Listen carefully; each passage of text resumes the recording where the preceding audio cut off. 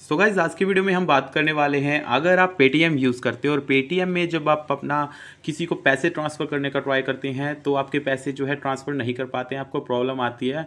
तो अगर आपके पैसे ट्रांसफ़र नहीं हो रहे हैं, किसी को पैसे नहीं भेज पा रहे हैं अपने पेटीएम से तो आज उसका सोल्यूशन मैं आपको बताने वाला हूँ। इस वीडियो में ये वीडियो आपके लिए ही है।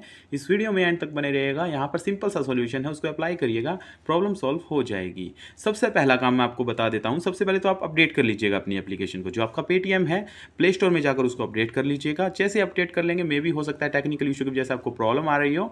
तो उस वो प्रॉब्लम जो है आपकी सॉल्व हो जाएगी। देन सेकंड काम क्या करना है? अगर आपका अपडेट करने के बाद भी प्रॉब्लम एज इट इज़ बना रहता है देन उसके बाद पेटीएम है आपका ओपन कर लिया। ओपन करने के बाद यहाँ पर सॉरी ओपन करने के बाद यहाँ पर आपको प्रोफ़ाइल पर क्लिक कर लेना है। प्रोफ़ाइल पर क्लिक करने के बाद यहाँ पर यूपीआई एंड पेमेंट सेटिंग देखने को मिल रहा है। यूपीआई एंड पेमेंट सेटिंग पर क्लिक कर लेना है।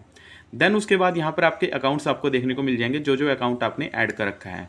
यहाँ पर मेरा इंडसिन बैंक है और यूनियन बैंक है। तो जिस भी बैंक में आपको प्रॉब्लम आ रही है सपोज़ कर लीजिए मुझे इंडसिन बैंक में जो है पैसे ट्रांसफ़र में प्रॉब्लम आ रही थी। इस अकाउंट से पैसे मैं ट्रांसफ़र कर रहा था, मुझे प्रॉब्लम आ रही थी। तो इसको यहाँ से सिलेक्ट करूँगा। सिलेक्ट करने के बाद यहाँ पर रिमूव का ऑप्शन है। यहाँ से इसको रिमूव कर लूँगा। सिंपल सा स्टेप्स को फॉलो करिएगा। यहाँ से इसको रिमूव कर देता हूँ। तो देख सकते हैं रिमूव कंफर्म करते हैं। यहाँ से अकाउंट रिमूव हो चुका है। अब आपको करना क्या है?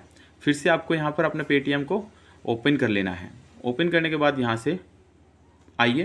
अब बैंक अकाउंट को रिमूव करने के बाद आपको एक और काम ज़रूर से कर लेना है। अपना जो इसका क्लियर कैच और क्लियर डेटा जो है, कर लेना है। आप क्लियर कैच या क्लियर डेटा कर लीजिएगा देन उसके बाद फिर से ओपन करिएगा। ओपन करने के बाद यू एंड पेमेंट सेटिंग में आइएगा। देन उसके बाद न्यू बैंक अकाउंट पर क्लिक करिएगा। यहाँ से अपना अकाउंट जो है सिलेक्ट कर लीजिएगा। जो भी बैंक था, उसको सिलेक्ट करिएगा। तो कर लेते हैं। मेरा इंडसिन बैंक था।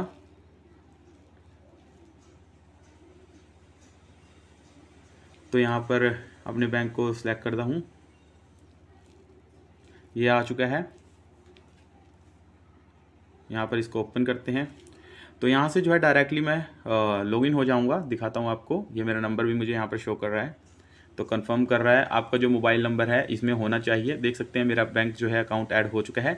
अब जो है, आप जो है यहाँ से पेमेंट कर सकते हैं, किसी को भी पेमेंट कर सकते हैं। तो बस आपको यही प्रोसीजर करना होगा रिमूव करके अकाउंट ऐड करना है प्रॉब्लम सॉल्व हो जाएगी। सो गाइज़ बस आज के वीडियो में इतना ही। मिलते हैं नेक्स्ट वीडियो में। टिल ना bye take care love you all